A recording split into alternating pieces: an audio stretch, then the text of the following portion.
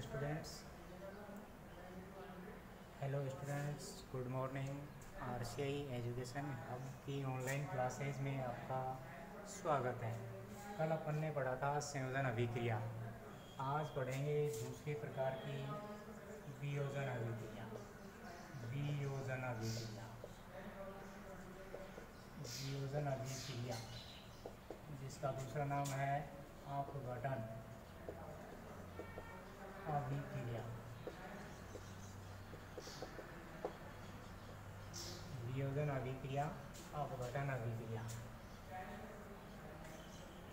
विद्यार्थियों, देखो, यहाँ पर शब्द है वियोजन। वियोजन का लिया है, सामान्य सा अर्थ है अपघटन अपघटन का सामान्य सा अर्थ है टूटना। अपघटन का सामान्य सा अर्थ है टूटना।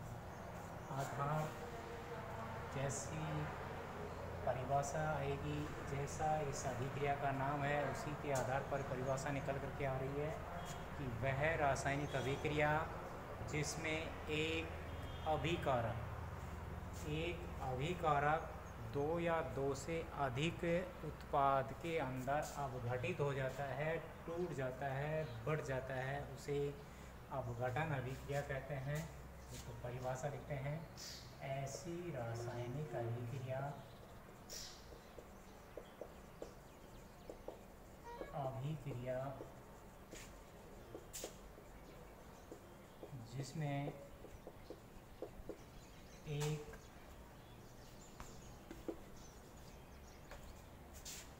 एक अभिकारक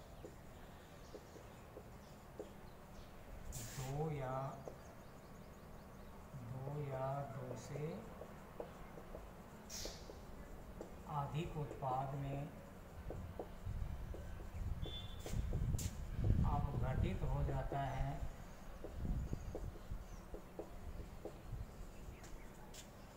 उसे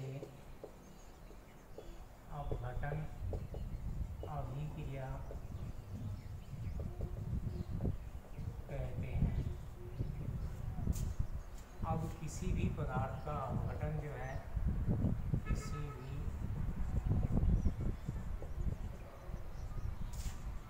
पदार्थ का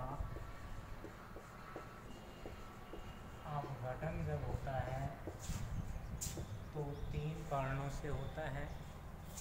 या तो ऊष्मा से, या विद्युत से, या फिर प्रकाश से।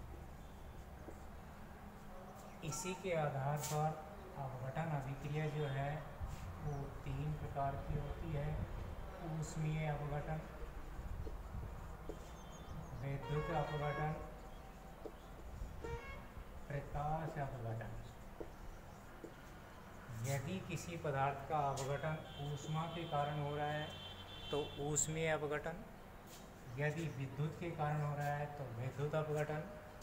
प्रकाश के कारण हो रहा है तो प्रकाशीय अवघटन यहाँ अवघटन जो है, उस अभिक्रिया को समझने के लिए हम एक प्रयोग करते हैं। प्रयोग में एक शुष्क क्लोथन नली लेते हैं एक शुष्क क्लोथन नली लेते हैं। इस नली में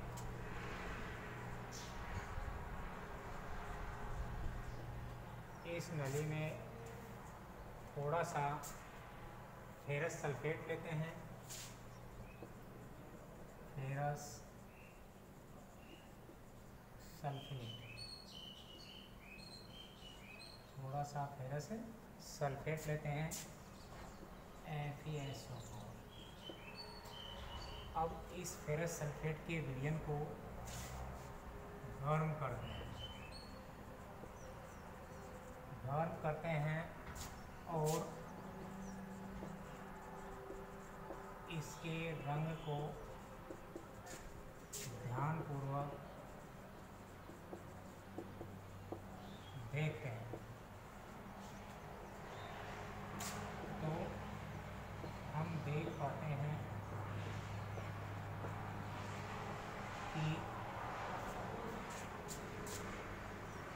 लोथन नली में उपस्थित फेरस सल्फेट का रंग बदल जाता है। ऐसा क्यों हुआ? क्योंकि फेरस सल्फेट में क्योंकि फेरस सल्फेट में उपस्थित सेवन एच फेरस सल्फेट में उपस्थित क्रिस्टलन जल।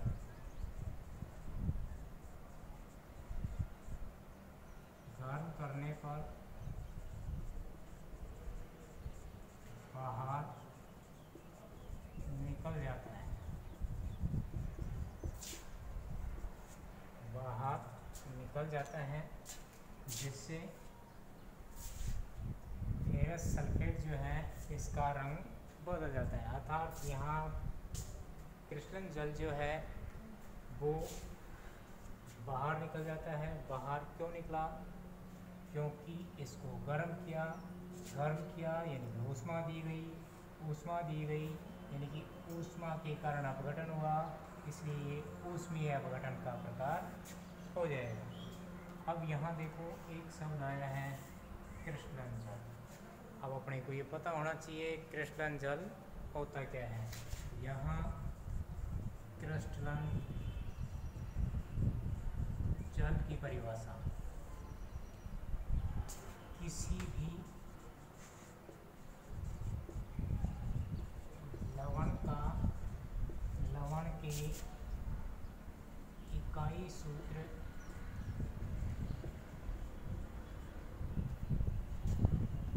में उपस्थित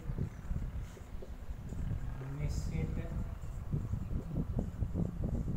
जल के अणुओं को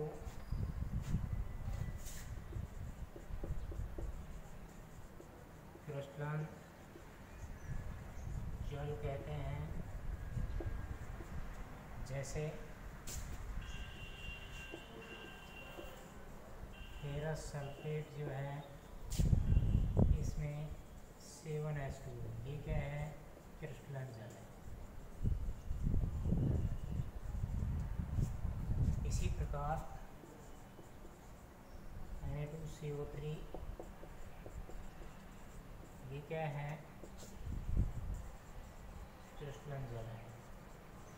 तो ये एक निश्चित जल के जो अणु हैं, ये क्रिस्टलन जल कहलाता है। क्रिस्टलन जल के अणु कहलाते हैं। आज अपन अवघटन अभिक्रिया में पहला प्रकार ऊष्मीय अपघटन पढ़ रहे हैं। ऊष्मीय अपघटन यानी कि ऊष्मा के कारण अपघटन हो रहा है, जिसमें अपन ने प्रयोग पढ़ा। फेरस सल्फेट का जो विलयन है उसको हम जब गर्म करते हैं तो वह अपना रंग जो है वो बदल देता है, अवघटित हो जाता है, इसलिए इसको उसमें अवघटन अभिक्रिया कहते हैं। अपघटन अभिक्रिया में एक अभिकारक जो है, वो दो या दो से अधिक प्रोडक्ट में, उत्पाद में अवघटित होता है, विभक्त होता है, इसलिए इसे अपघटन अभिक्रिया कहते हैं। अब ऊष्मा के कारण इसमें अपघटन हुआ, इसलिए ऊष्मीय अपघटन है। यहाँ फेरस सल्फेट जो है, इसका अपघटन किस किसमें होता है, कैसे होता है, ऊष्मा के कारण कैसे हुआ, इसके लिए अपने रासायनिक समीकरण के रूप में इसे लिखे हैं। Ferrous sulphate two F S O four seven S two का जब अपघटन होता है यहाँ पर फेरस सल्फेट है, उसका अपघटन जब होता है टू एस ओ ये ठोस अवस्था में है। इसमें है, ठोस अवस्था में है, जब इसको ऊष्मा दी जाती है गर्म किया जाता है तो यह फेरिक ऑक्साइड फेरिक ऑक्साइड और सल्फ़र डाइऑक्साइड और सल्फ़र ट्राइऑक्साइड में अपघटित हो जाता है। ये भी ठोस है, ये भी ठोस है, ये गैस है, ये गैस है। इसलिए इनकी भौतिक अवस्थाएँ इनके नीचे कोष्टक में दर्शा दी गई है। ये है फेरस सल्फेट। ये है फेरिक ऑक्साइड ये है सल्फ़र डाइऑक्साइड। ये है सल्फ़र ट्राईऑक्साइड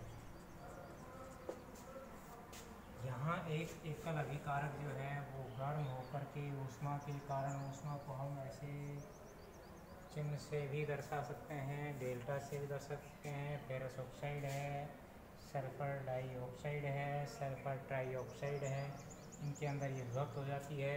ये तीन उत्पाद के अंदर ये विभक्त हो गया, इसलिए अपघटन अभिक्रिया है। इसी प्रकार इसका एक दूसरा उदाहरण भी है, कैल्शियम कार्बोनेट। को जब हम ऊष्मा देते हैं, गर्म करते हैं तो यह है कैल्शियम ऑक्साइड और CO2 गैस। में विभक्त हो जाता है तो यहाँ ये भी ऊष्मीय अवघटन है। ये भी क्या है? ऊष्मीय अवघटन है। इस प्रकार से आज अपन इतना ही पढ़ेंगे। धन्यवाद। इसमें आपको दो क्वेश्चन करने हैं। पहला क्वेश्चन अवघटन अभिक्रिया किसे कहते हैं? दूसरा क्वेश्चन उसमें अवघटन अभिक्रिया किसे कहते हैं? एक प्रयोग द्वारा समझाइए। धन्यवाद।